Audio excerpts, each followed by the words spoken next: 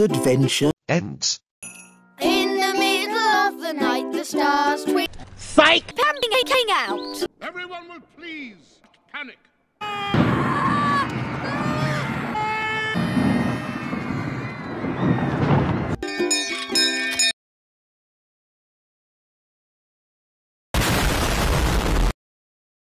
Hi, Ben. Hi, Holly. Are you ready to come camping?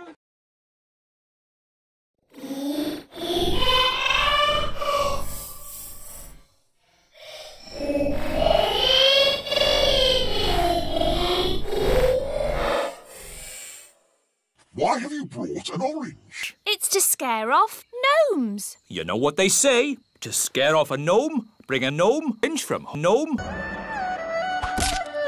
What did I say, huh? To scare off a gnome, bring a gnome from a gnome. What's wrong with gnomes? Gnomes are just like elves. Absolutely not.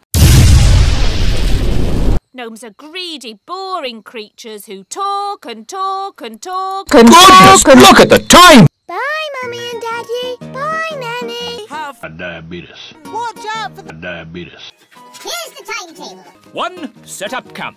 Two, hang up camp. Three, campfire camp. Dad, we're on holiday. Here's the tent. Hi, I'm back. Rick told me to not be in any videos just for pure drama.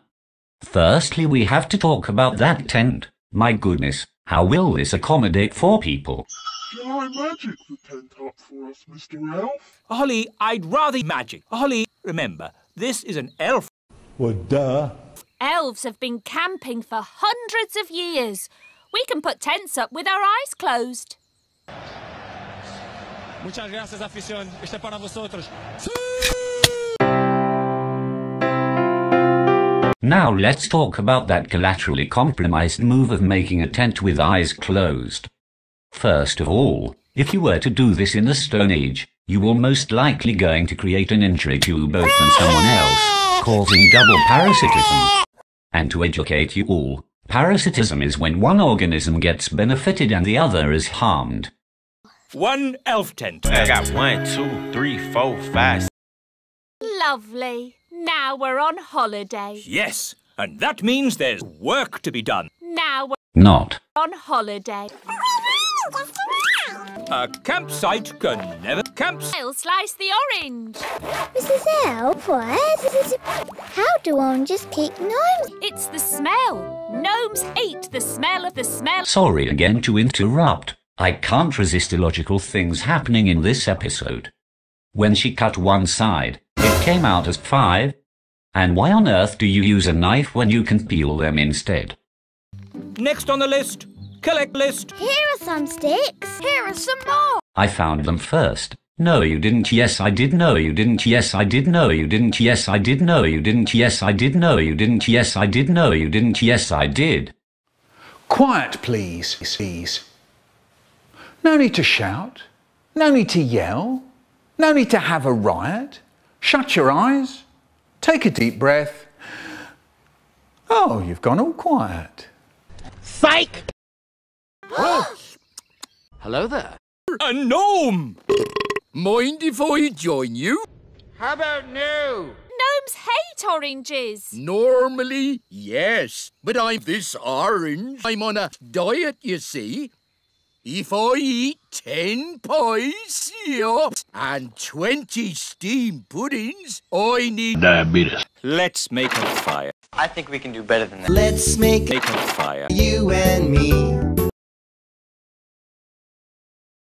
How do you make a fire, Mr. Elf? Stick two sticks together. Sticks together, really. Stickly. Faster. Faster.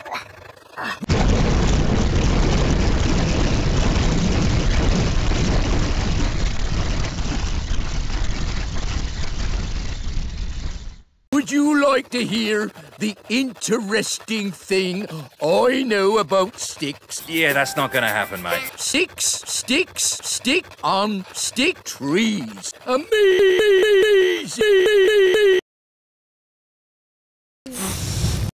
Bill Nye the Science Guy.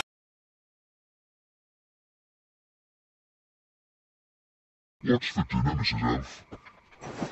Cheese and onion pie. Oh, thank you very much. Think of the people in Africa, and you over here, eating like everything is food. That's tasty. Tasty. Look, up in the sky, it's a bird. It's a plane. It's an owl. Would you like me? Oh my god, please leave us alone. I can't tolerate this much of a nonsense with a morbidly obese guy coming to a camping trip. The owl is in fact a big bird. It's in fact. Are you little? Six o'clock. Time for bed. I'll put the fire out. It takes me for five, Holly. Don't go to bed. How dare you?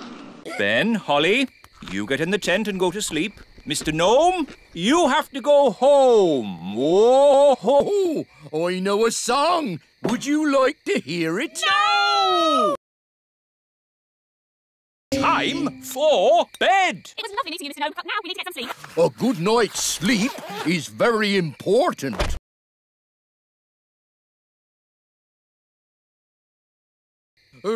Rinky-dinky-doo-doo. Doo-doo-be- Rinky-dinky-doo. Would you like me to stop? Yes! And please go! Would you like me to go? No.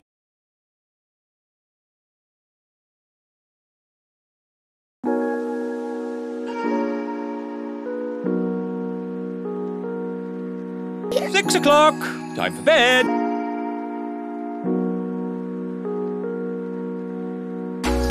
Don't go to bed.